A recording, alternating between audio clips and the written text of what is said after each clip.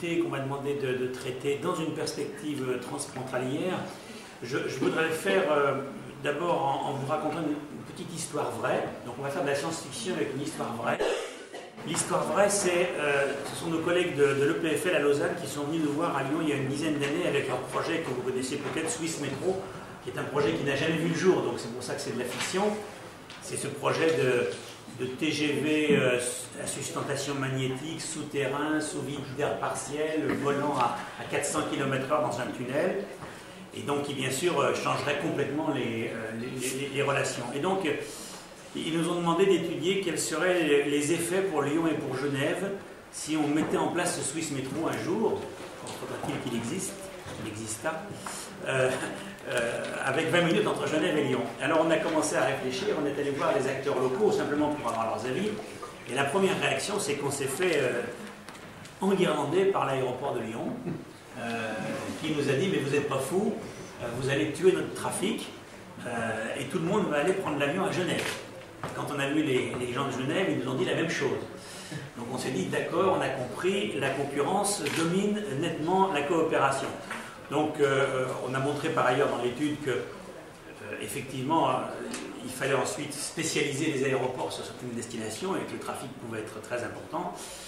Et donc, vous voyez, on, s'est aperçu qu'effectivement, si vous mettez Genève, qui est actuellement à 2 heures de Lyon en train et à peu près en voiture, c'est la même chose, même plus en heure de pointe, si vous les mettez à 20 minutes, vous créez beaucoup de, vous créez beaucoup de trafic entre eux, mais vous vous apercevez que les, tensions, en fait, en fait, personne ne voudrait cela, même si on l'avait. Ni les Genevois, ni les Lyonnais ne veulent cela, parce que ça perturberait complètement les, fonctionnements, puisque les, rôles, les, rôles seraient répartis, hein, c'est-à-dire que euh, la, ville de Genève est plus petite que l'agglomération lyonnaise, euh, mais euh, c'est une agglomération qui est plus riche et qui donc verrait sans doute des personnes françaises travaillant à Genève venir par exemple habiter à Lyon. Euh, et on verrait sans doute relativement peu de, de, Suisses venir travailler à Lyon. Et donc la, ville de Lyon, quoique plus grande, deviendrait euh, en quelque sorte une sorte de satellite de la ville de Genève. Je vous rappelle que 45 000 au Savoyards euh, vont travailler à Genève régulièrement, sans compter les dizaines de milliers de ceux qui viennent de, de, Ferney-Voltaire ou de, ou de, Donc on s'est aperçu qu'au-delà du mythe de nos collègues, de nos collègues suisses sur la technologie et, le Swiss Metro, et au-delà de, l'autre mythe qui est celui des effets structurants, hein, la corne d'abondance des transports rapides, euh, il, faut, euh, il, faut, expliquer ce qui se passe dans des agglomérations euh, où on change les moyens de transport, et ça c'est la logique gravitaire. Donc je voudrais en, deux temps résumer un petit peu ma présentation qui, donc je ne vous parlais pratiquement pas de votre région parce que je la connais très peu, donc je vais plutôt raisonner de façon générale en vous donnant un certain nombre d'outils et puis à partir de là, bien sûr, je pense que la discussion s'ouvrira. Donc bien comprendre que la notion d'accessibilité euh, est considérée par vous et par moi tous les jours comme une notion essentiellement temporelle, alors qu'en fait, du point de vue de l'intérêt général, il faut la considérer comme une, question spatiale. Et puis dans un deuxième temps, on verra que ces questions spatiales dépendent essentiellement des logiques gravitaires et les, frontières viennent effectivement perturber un petit peu cette affaire-là. Alors, Passons de la vitesse à l'accessibilité, de l'accessibilité aux usages du temps et de l'espace, et de l'accessibilité urbaine à l'accessibilité à, grande échelle euh, pour euh, euh, serrer les affaires. Alors, si on, résume ce qu'était la vie de nos grands-parents, la vie d'une journée, c'était à peu près ça. Mon grand-père partait à pied au travail, il restait la matinée au travail, il rentrait à midi, ma grand-mère avait préparé le repas, il repartait à pied, après une petite sieste, si j'ai bonne mémoire, et ensuite, euh, et ensuite il rentrait. Voilà. Voilà la vie de quelqu'un qui n'avait pratiquement, euh, vivant dans le centre de Lyon, qui n'avait pas de voiture et qui faisait à peu près tout avec des modes doux. Et puis malheureusement, euh, la voiture est arrivée, ou heureusement, je ne sais pas s'il faut le dire, et voilà un autre, un autre mode de vie qui est la même personne qui part à pied, mais qui prend sa voiture, et comme elle va assez loin, elle ne rentre plus déjeuner à midi et avec sa voiture, elle rentre donc euh, avec des vitesses beaucoup plus rapides, donc la pente beaucoup plus forte, mais elle peut rentrer à peu près à la même heure. Et donc, euh, si vous rajoutez là-dessus la grande vitesse, eh bien voilà quel est euh, mon mode de vie, c'est-à-dire que je prends ma voiture pour aller à la gare TGV, Et pratiquement une fois par semaine, je vais à Paris. Là, à Paris, encore, je, prends le métro ou je marche à pied. Euh, je simplifie parce qu'en fait, j'ai souvent plusieurs réunions. Euh, donc là, j'ai supposé que je restais à la Défense toute la journée. Je reprends le RER, je reprends et je rentre chez moi. Donc vous voyez que mon espace-temps s'est dilaté. Et c'est la même chose pour, je pense, la plupart d'entre vous. C'est-à-dire que euh, vous faites beaucoup plus de kilomètres et au total, vous rentrez chez vous plus tard le soir quand vous n'êtes pas bloqué par la grève. Donc le, propre de la vie moderne, c'est bien la dilatation de nos espaces-temps. Et personne n'a envie de revenir à ce qui est en rouge ici.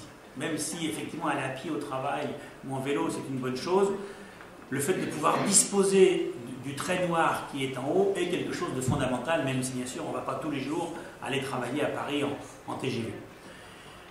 Et donc pour comprendre l'accessibilité, il faut bien comprendre deux choses, c'est que euh, l'essentiel n'est pas qu'une question de transport.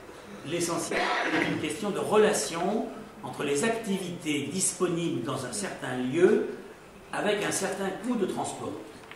Et tant qu'on ne parle que de transport, euh, bien sûr, ça ne vaut pas. Et donc, si on détaille un petit peu, pour joindre une activité, un travail, un loisir, etc., il faut tenir compte du coût de transport monétaire, du coût de transport temporel, le budget temps, et dans ce coût de transport temporel, vous avez le temps de parcours, mais vous avez aussi les ruptures de charge, vous avez le fait que vous êtes installé euh, confortablement ou non, le fait que vous avez accès à Internet ou non, etc.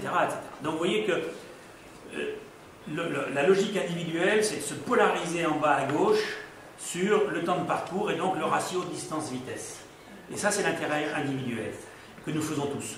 Et l'intérêt général consiste à dire qu'est-ce que je veux offrir comme ratio activité, densité d'activité, type d'activité par rapport à un coût monétaire et un coût temporel pour l'individu, et un coût temporel qui, par exemple, pourrait ne pas faire gagner en vitesse, mais pourrait faire gagner en fiabilité, pourrait faire gagner en confort.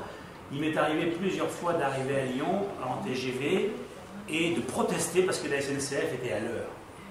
Et j'avais un travail à finir, j'étais en train de travailler sur l'ordinateur, et ce foutu train était justement à l'heure aujourd'hui. Alors qu'il euh, aurait été en retard, comme ça lui arrive parfois, j'aurais pu terminer mon papier. Donc vous voyez, le temps à lui tout seul n'est pas suffisant, il faut bien comprendre comment on utilise ce, temps, et bien sûr, ça c'est fondamental. Alors voilà, donc vous voyez, euh, juste un petit exemple de, ce qu'on fait au laboratoire avec notre, outil qu'on appelle Mozart, modélisation et simulation de l'accessibilité aux, aux territoires on, fait de l'accessibilité comme nous le demandent les élus. Là, vous voyez, c'est le point bleu en bas à gauche, c'est la future extension du métro.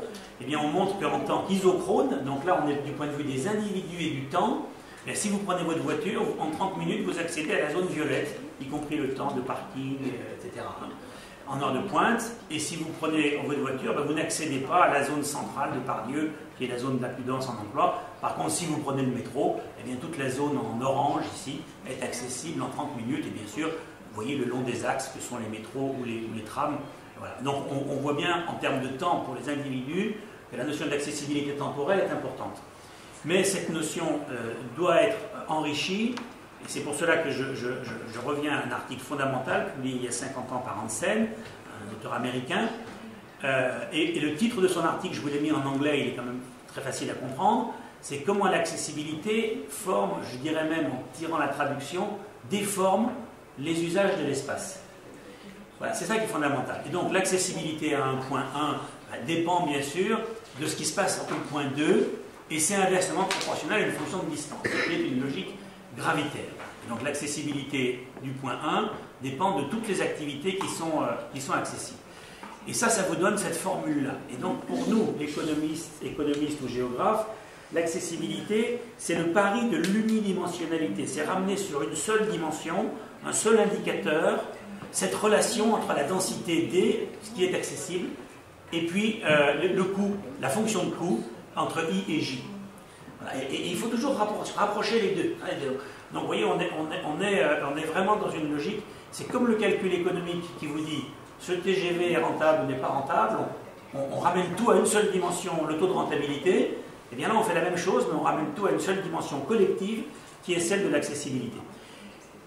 Sachant que la fonction, euh, f euh, peut avoir des formes différentes. Quand on parle d'accessibilité urbaine, les spécialistes, je pense à notre collègue italienne Aura Reggiani, expliquent qu'il faut une fonction exponentielle négative. Ce qu'a fait Koenig en France en 1973, ce que fait Jean Poulit, si vous le connaissez en France, une fonction exponentielle négative qui consiste à vous dire, voilà, il faut tenir compte de, chaque fois que la, masse attractive DJ euh, voit augmenter le coût généralisé pour la rejoindre, l'accessibilité diminue. C'est pour ça que l'exponentielle est négative, et puis il y a un paramètre bêta, on pourra en parler un petit peu plus loin. Et quand vous appliquez cette formule dans une zone, et voilà ce que fait Jean Poulit. Alors ne regardez surtout pas ce qui est écrit en bas à gauche, parce que ça c'est une, illusion théorique. Il ne faut pas donner des chiffres. Euh, en, monnaie, c'est ce qu'il fait. Il vous donne des chiffres en PIB, c'est complètement inacceptable. Mais ce qui est acceptable, c'est la, carte faite par l'IGN qui vous dit voilà, ce, qui est en, ce qui est en rouge foncé, c'est le maximum d'emplois accessibles en une heure. Et donc vous voyez bien que Paris, c'est là que vous avez le maximum d'emplois accessibles en une heure. Même chose pour le Nord-Pas-de-Calais, même chose pour Lyon, Marseille, même chose pour l'Alsace.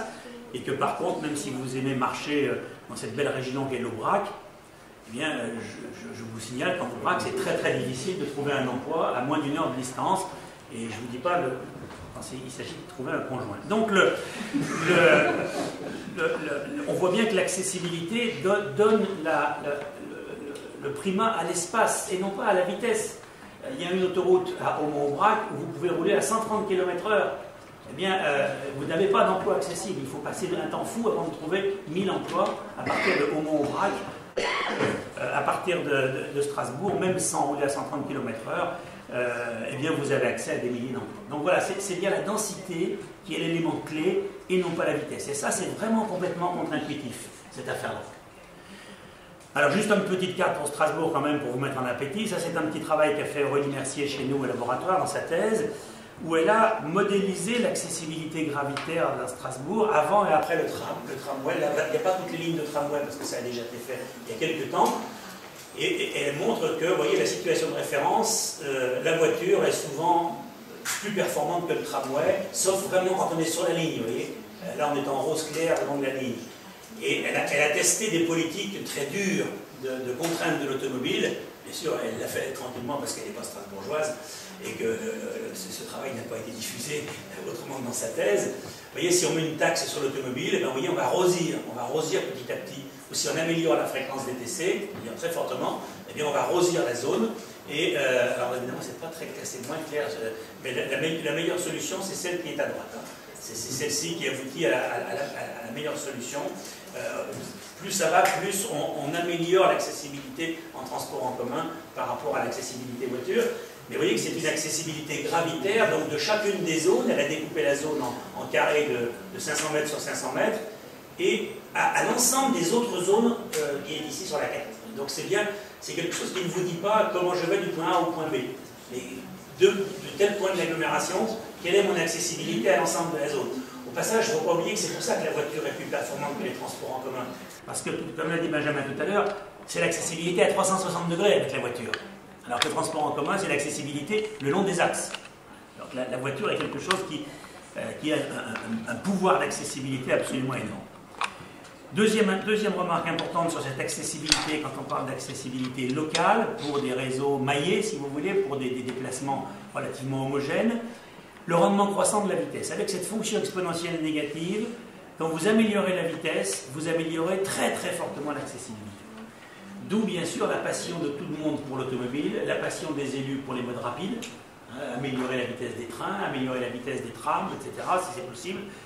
la vitesse est quelque chose d'essentiel. Et donc, ce n'est pas stupide pour les individus de, dire j'aimerais bien qu'on améliore ma vitesse de déplacement, parce que là, on augmente très très fortement l'accessibilité. Donc, le, point de vue individuel n'est pas stupide, mais si vous prenez que le point de vue individuel, eh bien vous obtenez ça. C'est-à-dire, ça c'est un petit calcul qui est fait par la Société du Sud-Ouest, volontairement je n'ai pas pris un, exemple alsacien, euh, ça c'est l'autoroute Pau-Langon qui vient d'ouvrir, euh, l'autoroute à 65. Et vous avez les effets de la vitesse sur l'accessibilité des différentes zones. Et vous voyez que euh, ces zones-là ont des gains d'accessibilité absolument gigantesques. Donc, c'est la carte de l'étalement urbain potentiel consécutif à l'autoroute. Donc, vous voyez cette carte, elle a été présentée dans les débats publics. Certains peuvent l'avoir en disant regardez la baguette magique de l'autoroute, tout le monde est gagnant, hein, notamment dans le sud, qui est la zone la moins riche par rapport à Bordeaux ici. Toute cette zone-là va s'enrichir grâce à, l'autoroute. Ça, c'est le point de vue positif. Et le point de vue négatif est de dire ok, on a compris, avec l'autoroute, vous allez diffuser l'habitat très très largement et vous allez faire de l'étalement urbain. Donc, vous voyez, la, vitesse est quelque chose qui est très attractif, mais la vitesse a un effet dévastateur sur, sur l'espace. Donc quand on parle maintenant de l'accessibilité à grande échelle, il faut changer la formule. Ce n'est plus, plus, une exponentielle négative, c'est une fonction puissance. Donc chaque destination est affectée d'un coût généralisé pour s'y rendre, et ce, couple-là est affecté d'un exposant négatif, ce qui veut dire que plus le coût généralisé est élevé, plus l'accessibilité baisse, puisque c'est négatif. Donc euh, il faut regarder de près ce qui se passe euh, sur l'accessibilité à grande échelle, parce que là, la, vitesse euh, va compter relativement plus que la densité. Si, quand, vous allez à Paris quotidiennement, ce n'est pas forcément pour trouver les 3 ou les 10 millions d'emplois de la région parisienne. Si vous allez à Paris, c'est pour une activité particulière en un lieu précis, et ce qui compte pour vous, c'est la vitesse. Voilà, donc voilà le, cœur de ce, raisonnement. Et donc à partir de là, voilà un exemple qui est calculé d'ailleurs par nos collègues allemands. Vous avez l'accessibilité en Allemagne euh, entre les petits changements éventuellement entre 2003 et 2007 avec cette formule puissance.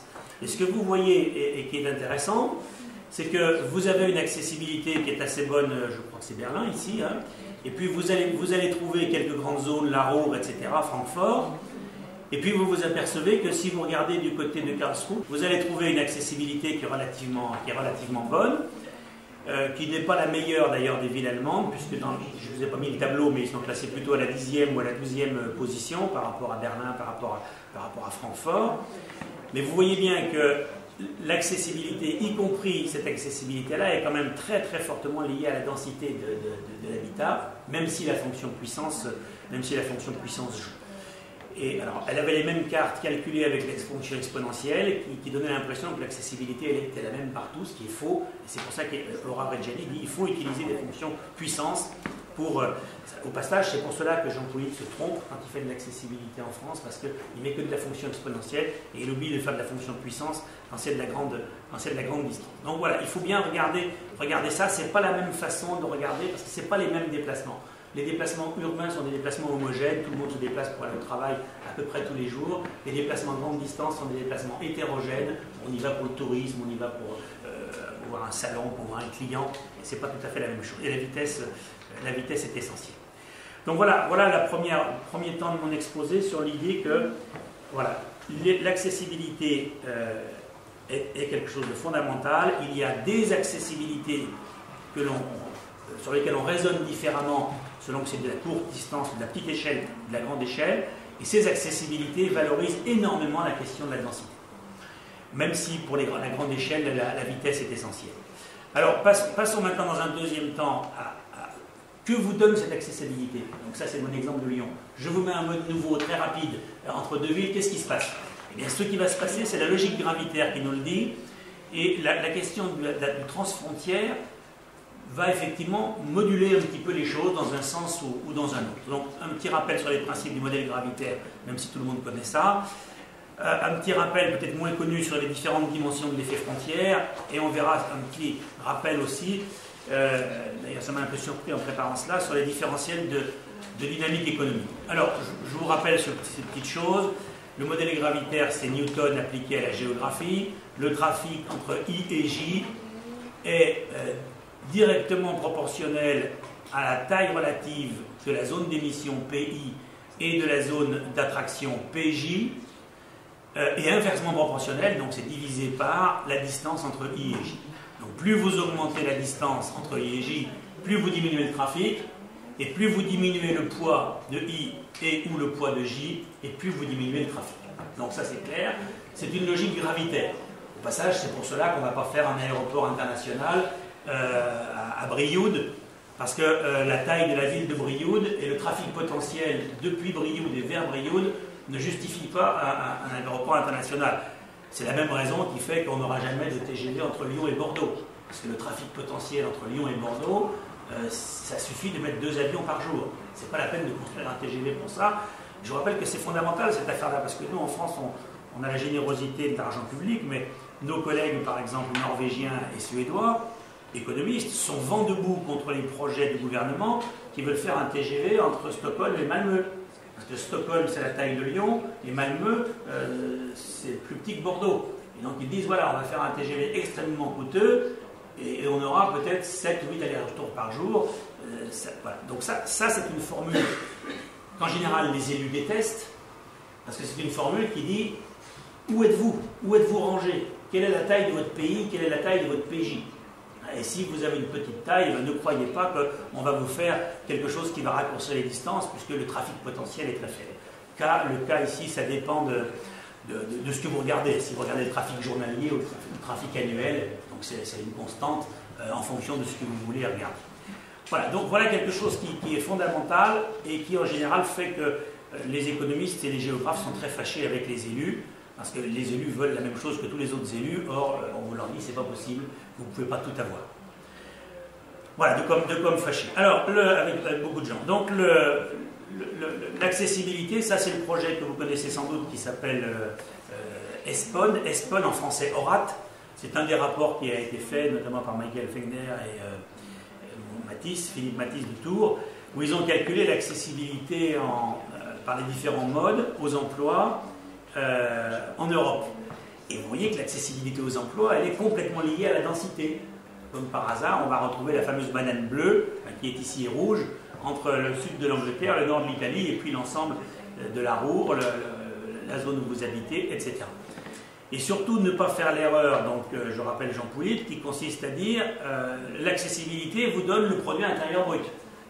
Parce que vous avez une bonne accessibilité, vous êtes riche. Parce que si vous regardez euh, la carte, euh, je voir tout à l'heure, la carte des PIB en Europe, on verra que euh, la zone de, la Suède au, nord ici est extrêmement, a très peu d'accessibilité. C'est pour ça que les Suédois sont pauvres. Donc il ne faut surtout pas faire de, fétichisme de l'accessibilité en disant donnez-moi de l'accessibilité, c'est le, seul moyen de m'enrichir. Alors, quelles sont les logiques gravitaires dans le Rhin supérieur? Donc revenons un petit peu à notre terrain. Quand on fait des projets de transport, si par exemple j'ai vu que certains disaient ah bon, on pourrait prolonger le tramway de Karlsruhe euh, non seulement euh, jusqu'au Fribourg, mais on pourrait le prolonger jusqu'en en Alsace. Euh, en quoi ça améliore l'accessibilité? Sous quelle forme? Est-ce que c'est un gain de temps? Est-ce que c'est de la fiabilité? Est-ce que c'est un confort? Est-ce que c'est du coût? Même chose avec le TGV. On a eu un gain d'accessibilité, essentiellement sous forme de gain de temps, le confort aussi. pour quel couple?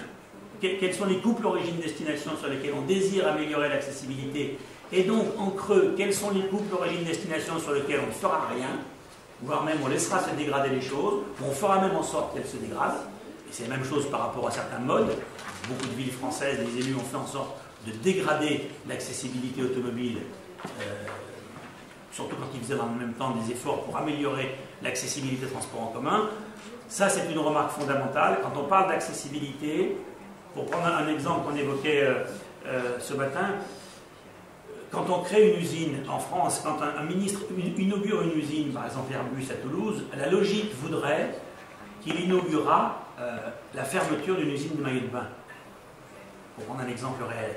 Parce que quand vous engagez une activité, dans une activité, il faut savoir se dégager d'une autre. Bien là, c'est la même chose vous ne pouvez pas donner de l'accessibilité à tout le monde. Donc quand vous améliorez l'accessibilité pour certains couples origine-destination, il faut, même si vous ne le dites pas officiellement, parce que c'est difficile d'être élu en le disant, il faut savoir qu'on est en train de dégrader relativement, voire de façon plus que relative, euh, l'accessibilité pour d'autres zones. Donc, de fait, il faut savoir quels sont les pôles d'attraction que l'on va favoriser et d'autres sur lesquels on... Voilà, et donc euh, à partir de là, quelle est et quelle sera la forme urbaine savez, par exemple, nos collègues californiens, je vais aller les voir d'ailleurs pour ça dans, un mois, ils s'intéressent au TGV, mais ils ont un gros problème de forme urbaine. Parce que si la ville est extrêmement étalée, et euh, si tout le monde vient en voiture le matin euh, de très très loin pour prendre le TGV, fondamentalement, ça complique un petit peu les choses. Alors une, une forme, donc Los Angeles est beaucoup moins dense que San Francisco. Donc San Francisco pose pour le TGV, Los Angeles est beaucoup moins chaud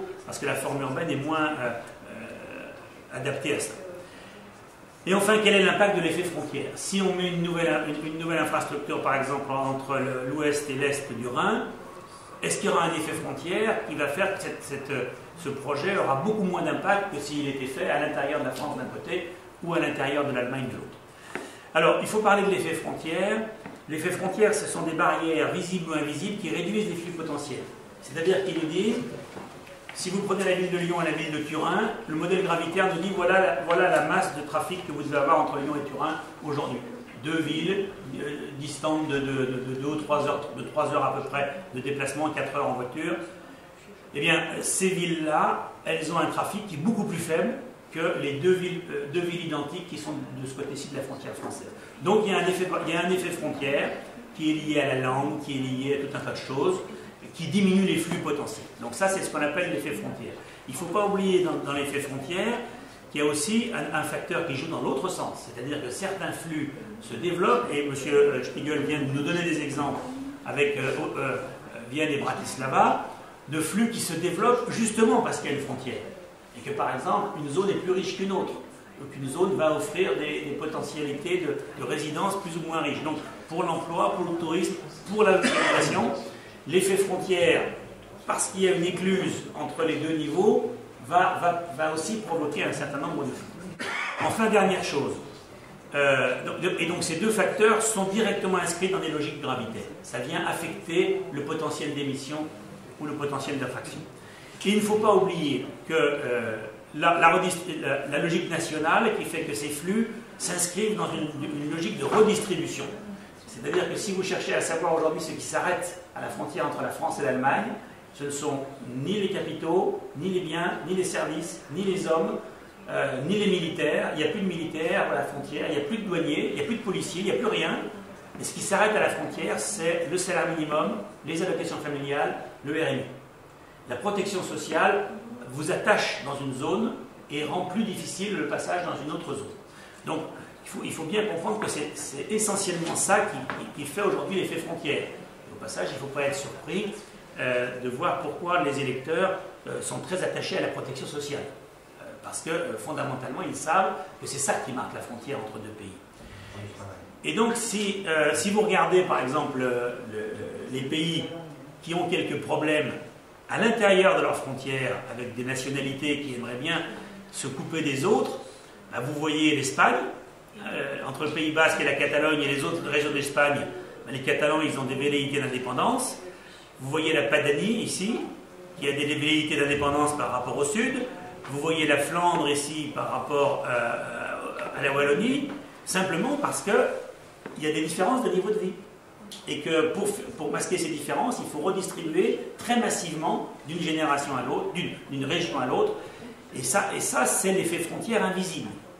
Donc bien évidemment, quand vous habitez ici, vous n'êtes pas très loin en PIB, pardon, quand vous habitez là, vous n'êtes pas très loin en PIB de ce qui se passe à côté, mais le système redistributif, il s'arrête là, à la frontière. Donc cet effet frontière est extraordinairement important. On peut le montrer aussi oui, juste, je reviens sur ce que je disais tout à l'heure. Vous voyez que le PIB par habitant à Stockholm, ici, il est très élevé, alors que l'accessibilité est très mauvaise par rapport à ce qu'elle est dans la route. Donc, surtout, ne, faisons pas de lien entre les deux, comme le fait parfois Jean Pouly. Si vous regardez ici euh, les, niveaux, cette fois, non plus de PIB par habitant, mais de revenus des ménages par habitant, vous voyez, si vous enlevez la Savoie, la Haute-Savoie, pardon, et Paris, vous voyez que les, différences sont très faibles hein, entre, euh, entre euh, voyez 14 000 euros et, 17 000 euros si on prend la plupart des régions. Et vous voyez que l'Alsace, c'est un cas qui n'est pas du tout un cas particulier, c'est-à-dire que proche des frontières avec un pays plutôt riche, eh bien, euh, c'est une zone plutôt riche, exactement comme la Haute-Savoie, exactement comme Nice. vous voyez, on, retrouve cette, particularité que la proximité avec une zone riche va, développer le système. Et donc on en vient pour finir à, ces, questions fondamentales qui est les différentiels économiques. Là on regarde en niveau, si on regarde maintenant en dynamique l'effet frontière, que s'est-il passé, et, vraiment ces chiffres m'ont beaucoup surpris, euh, que s'est-il passé en matière de croissance économique en Alsace depuis 1990, euh, donc sur presque 20 ans, et en, fonction du nombre d'emplois. Donc bien évidemment, vous avez un nuage de points ici, qui vous place toutes les régions euh, sur première bisectrice. Celui qui a la plus forte croissance économique a la plus forte croissance d'emploi. La Corse, vous ne le saviez peut-être pas, Languedoc-Roussillon, Pays de Loire, Bretagne. Voyez que l'Alsace euh, n'est pas très très bien placée. Elle est plutôt au-dessus de la première bisectrice, donc elle s'est plutôt bien débrouillée en termes de, euh, en, termes d'emploi, mais en termes de croissance du PIB, elle n'est pas, pas excellente. Et ça m'a beaucoup surpris, parce que je me suis interrogé, là je vous pose la question, ce différentiel de croissance, vous voyez ce qui se passe ici, hein, vous voyez l'Alsace qui en termes de PIB par habitant était au niveau de Rhône-Alpes, même légèrement au-dessus en 1990, se retrouve aujourd'hui en dessous de Rhône-Alpes et même en dessous de Provence-Alpes-Côte d'Azur, ce qui est un comble. Euh, parce que la croissance, le gain n'a été que de 11% ici, alors qu'il a été deux fois plus rapide pour Provence-Alpes-Côte d'Azur. Ma question, c'était de savoir si ça c'était lié au fait que, dans le même temps, l'Allemagne a connu une croissance faible, est-ce que c'est une croissance économique alsacienne ralentie du fait du partenaire allemand, qui est un partenaire très important, ou bien est-ce qu'il est ralenti pour d'autres raisons? Ça, je ne connais pas, je vous, pose, la question, parce que ça signifie que si c'est la première explication qui est la bonne, compte tenu du fait que l'Allemagne est en ce moment en train de repartir très rapidement en croissance économique, eh l'Allemagne va suivre ce train-là, euh, ou non. Et à, ce moment-là, bien sûr, les, questions qui se posent ne sont plus des questions de, transport essentiellement. Que se passe-t-il dans le système industriel et le système économique alsacien qui pourrait expliquer cette perte de dynamisme? Et surtout, ne disons pas que c'est à cause euh, du TGV qui n'est pas là ou qui, est là. Parce que vous avez d'autres régions euh, qui ont très peu de TGV et qui se débrouillent bien. Donc euh, surtout ne, mettons pas en cause directement les, transports comme l'élément clé. Il faut regarder clairement ce qui s'est passé dans l'appareil industriel. Voilà, donc le, vous, voyez, la Lorraine ici, pour d'autres tout un tas de raisons. La Lorraine est desservie par le TGV, mais pour tout un tas de raisons, le niveau de vie reste faible encore sur Ciné. Voilà, pour terminer donc sur cette protection générale. Donc l'accessibilité est un concept clé pour comprendre les enjeux de mobilité et des mobilités aux différentes échelles. Hein, donc qu'est-ce qu'on cherche comme vitesse, mais qu'est-ce qu'on cherche comme, comme activité, comme, comme destination euh, aux différentes échelles? Et, par exemple, il serait intéressant de comparer les chiffres que vous avez évoqués. Euh, les 90 000 personnes qui vont travailler régulièrement en Allemagne, mais si j'ai bien compris, il y en a seulement 25 000 dans la zone qui est autour de Strasbourg, parce qu'il y en a d'autres qui habitent plutôt au sud et qui vont etc. Donc plutôt 25 000. Si on compare aux, je crois, à peu près 10 à 15 000 voyageurs par jour vers Paris. Ce pas les mêmes destinations, ce pas tout à fait les mêmes ordres de grandeur, mais on voit bien qu'on a deux, deux, problématiques d'accessibilité différentes. D'ailleurs, euh, sur, sur, les, les frontaliers, tout se fait pratiquement en voiture, et bien sûr sur Paris, peu de choses se font en voiture. Les enjeux sont spatiaux et collectifs avant d'être temporels et individuels. Donc ça, c'est compliqué parce qu'on euh, est obligé de parler aux électeurs et aux citoyens dans une chose, dans, une chose qui les intéresse, et c'est essentiellement le temps, alors qu'il faudrait leur parler dans des choses qui les intéressent, mais à plus long terme, et qui intéressent les générations futures, c'est l'espace et, et, l'intérêt collectif. Il ne faut surtout pas avoir de fétichisme quant au rôle des infrastructures, puisque les infrastructures, elles s'inscrivent dans une logique gravitaire, et donc si aujourd'hui on, faisait un lien extrêmement rapide, un TGV par exemple, ou un Swiss Métro de Strasbourg à, Karlsruhe ou même à Francfort, eh bien Strasbourg serait tout simplement satellisé par Francfort, exactement comme Reims est satellisé par Paris, tout simplement parce que si vous améliorez l'accessibilité euh, depuis Strasbourg vers par exemple Paris, bien évidemment ça offre des possibilités importantes à Strasbourg, mais de toute façon Paris est plus gros ça offre aussi beaucoup de possibilités à, Paris. Donc le, changement du mode de transport ne change pas le poids relatif. ça offre des opportunités. Je, bien sûr, je ne dis pas qu'il ne fallait pas faire le TGV, le TGV été quelque chose d'excellent pour Strasbourg, mais ça ne change pas le poids relatif entre Strasbourg et Paris, et la logique gravitaire reste, euh, même si les coûts de transport ont changé. Et enfin, donc, il faut bien, bien tenir compte de cette logique gravitaire, qui n'est pas la même, la logique gravitaire vers Paris correspond à un certain type d'accessibilité et la, logique vers le Rhin supérieur correspond à d'autres types d'accessibilité qui sont liés sans doute à d'autres vitesses et à d'autres natures de, de l'offre de transport.